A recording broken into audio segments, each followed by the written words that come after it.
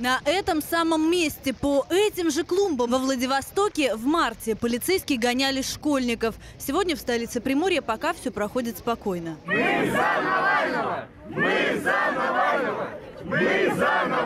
В Южно-Сахалинске задержаны участники одиночных пикетов. На Дальнем Востоке митинги уже заканчиваются, а в Центральной России в самом разгаре. Пока самое резонансное задержание произошло в Самаре. Там полиция задержала старушку. Сейчас, кажется, бабушку видят. И судя по этому видео, еще несколько человек.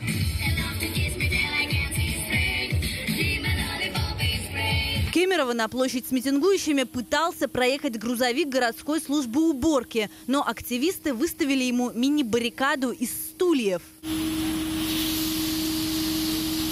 В Якутске, судя по видео, было совсем немноголюдно, но и тут не обошлось без задержаний.